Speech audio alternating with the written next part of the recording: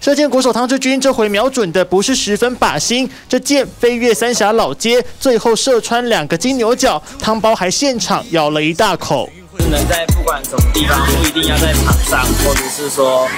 在比赛的时候，才能让那种心定下来。汤志军这意思就是，不管在哪都能是神射手，不愧是拿下冬奥射箭男团银牌的三帅之一。四月份为全运会拍广告，汤志军身为三峡人，也称职狂吃金牛角，帮忙宣传。像我们比赛弓就是放速比较强，所以打出去的力道比较大力，所以在这种箭会比较软，所以打到靶上的时候，箭都会完全的变形。因为不是用比赛的碳纤维箭，加上这弓一拉开，拉力就要二十多公斤，也难怪剑会弯曲变形。这回新北市为了宣传全运会，找来在地奥运国手，英哥则是派出女拳击手。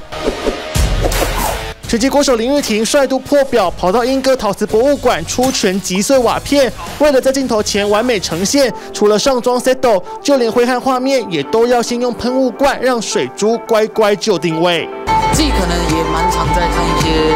电影之类的东西，去询问一下导演他希望的感觉是怎么样。那我觉得想办法去模拟出导演想要的那种感觉，然后去把它做出来。这样。林玉婷说：“这是她第一次戴着拳击手套去打破瓦片，跟拍摄团队试了好几次，才成功拍出瓦片撕碎画面，展现运动员的毅力决心。就算是拍宣传片，也要做到完美。” TVBS 新闻赵昭宏、新闻新美食报道，请大家订阅、按赞、分享 TVBS News 频道，并且开启小铃铛，也请用手机下载 TVBS 新闻 APP，让您随时掌握国内大小事。